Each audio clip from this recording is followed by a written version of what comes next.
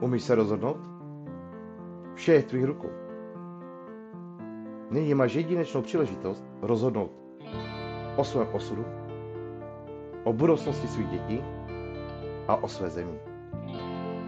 Otoč směr dějin. Budeš čekat? Nebo se přidáš?